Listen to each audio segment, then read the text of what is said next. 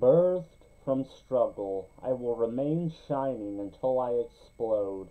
Supernovas gyrate around me as comets who come too close perish in my heated gaze. Infinitesimal meteorites orbit around my magma exterior, catching on each other and breaking apart the words that spill from my bleeding core, radiant and revealed in the day and waiting with rabid anticipation in the night until the next opportunity arises to spread my wings.